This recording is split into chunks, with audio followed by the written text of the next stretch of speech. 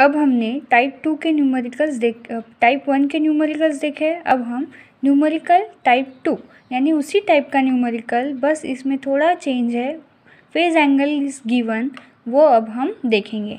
तो क्वेश्चन कहता है sinusoidal voltage with equation V equal to one seventy three sine three hundred and fourteen T minus thirty degree ये thirty degree पहले के question में जो था, सिर्फ़ यहाँ तक इक्वेशन गिवन था। बट अभी यहाँ पर माइनस थर्टी डिग्री गिवन है।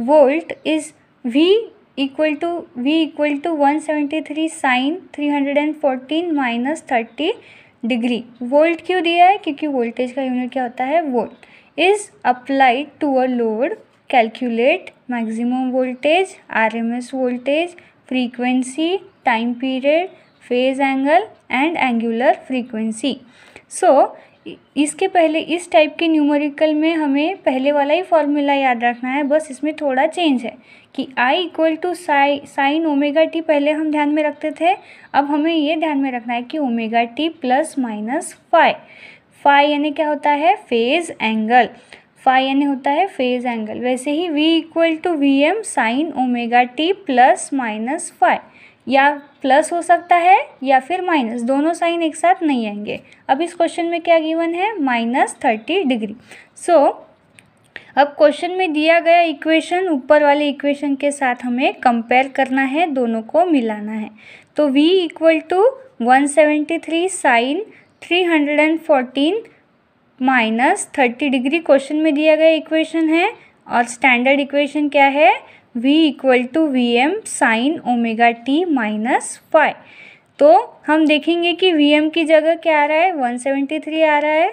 इसका मतलब क्या है? वी एम का वैल्यू कितना है? One seventy three volt volt क्यों लिखेंगे? क्योंकि वोल्टेज का यूनिट क्या होता है? वोल्ट और ओमेगा की जगह क्या आ रहा है? थ्री हंड्रेड एंड फोर्टीन आ रहा है। तो ओमेगा का value omega equal to three hundred and fourteen radian पर सेकेंड हो जाएगा। फाइव अब देखिए क्वेश्चन में यहाँ पर फाइव गिवन है और हमें यहाँ पर फाइव के जगह क्या आ रहा है? थर्टी डिग्री तो फाइव के जगह थर्टी आ रहा है, इसका मतलब फाइव का वैल्यू कितना है? थर्टी डिग्री फाइव का वैल्यू कितना है? थर्टी डिग्री फाइव का वैल्यू भी आ जाएगा.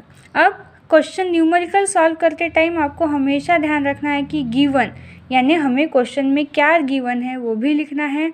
टू फाइंड हमें क्वेश्चन से क्या निकालना है, वो भी हमें लिखना है, ठीक है? जिससे कि हमें इजी हो जाता है कि हमें क्या गिवन है और क्या निकालना है ये पहचानना।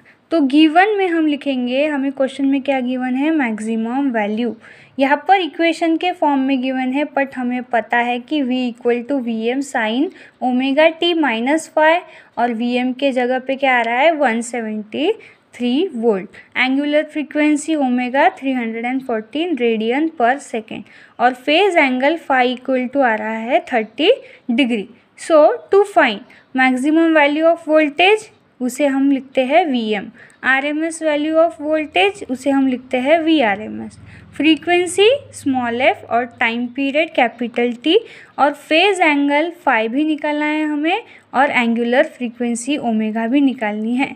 ये क्वेश्चन छः मार्क्स के लिए पूछा गया है।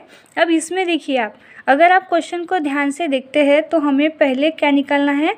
मैक्सिमम वैल्यू ऑफ़ वोल्टेज अब मैक्सिमम वैल्यू ऑफ़ वोल्टेज निकालने की ज़रूरत नहीं है, क्योंकि वो क्वेश्चन में ऑलरेडी दी हुई है। अगर आप क्वेश्चन की वैल्यू एज इट इज़ भी एज इट इज़ ही आपको लिखनी है, आपको क्या मिल जाएँगे? मार्क्स मिल जाएँगे। आपको सिर्फ़ क्या करना है? वीएम निकालने के लिए। ये इक्वेशन को स्टैंडर्ड इक्वेशन के साथ क्या करना है? कंपेयर करना है। जैसे कि हमने किया तो वीएम के जगह पे क्या आया? One seventy three. तो वी एम की वैल्यू कितनी आएगी? 173 वोल्ट अब ये आर वैल्यू ऑफ़ वोल्टेज हमें निकालना है। आर एम एस वैल्यू का फॉर्मूला हमें पता है zero point seven zero seven into V M और वी एम का वैल्यू भी हम, हमें क्वेश्चन में दिया गया है। तो zero point seven zero seven into one seventy three जब हम करेंगे तो वी आर एम एस का वैल्यू कितना आएगा? One twenty two point three one one volt कितना आएगा? V R M S one twenty two point three one one volt अब फ्रीक्वेंसी हमें निकालनी है। नेक्स्ट हमें क्या निकालनी है? फ्रीक्वेंसी फ्रीक्वेंसी के लिए हमें क्या लगता है? ओमेगा ओमेगा क्वेश्चन में ऑलरेडी गिवन है।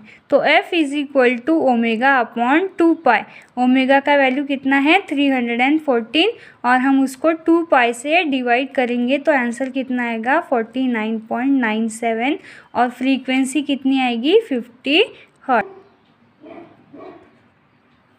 अब नेक्स्ट हम निकालेंगे टाइम पीरियड जिसको हम किससे डिनोट करते हैं? कैपिटल टी से। तो टी इक्वल टू होता है वन अपॉन एफ़ फ्रीक्वेंसी हमें पता है T equal to one by fifty तो टाइम पीरियड कितना आएगा? Zero point zero two second अब नेक्स्ट हमें निकालना है फ़ेज़ एंगल फ़ेज़ एंगल जो है फाइव इक्वल टू आप इधर क्वेश्चन में देख सकते हैं कि यहाँ पर क्वेश्चन में फ़ेज़ एंगल पहले से ही गिवन है। फ़ेज़ एंगल थर्टी डिग्री पहले से ही गिवन है। तो हम उसी के हिसाब से क्या करेंगे? फ़ेज़ एंगल निकालेंगे। Phase angle five equal to thirty degrees और एंगुलर फ्रीक्वेंसी ओमेगा वो भी क्वेश्चन में ही गिवन है। Omega equal to three hundred and fourteen radian पर सेकेंड तो इस क्वेश्चन में maximum value phase angle angular frequency question में ऑलरेडी गिवन थी। बस हमें क्या करना था? उसको क्वेश्चन से उठाकर यहाँ पर लिखना था विथ यूनिट विथ यूनिट आपको कितने मार्क्स मिल जाते हैं? तीन मार्क्स क्वेश्चन में ही, तीन मार्क्स के आंसर क्वेश्चन में ही गिवन है। तो ऐसे आपको ध्यान रखना है और मैक्सिमम मार्क्स आपको लेने हैं। इस इस टाइप के न्यूमेरिकल में आपको फॉर्मूला याद रखना बहुत ज़रूरी है। फॉर्मूले के बाद आपको यूनिट्स कौन से क्वांटिटी का यूनिट क्या है, ये भी आपको ध्यान में रखना बहुत ज़रूरी है। ठीक है? तो अभी आप ये न्यूमेरिकल अच्छे से सॉल्व करें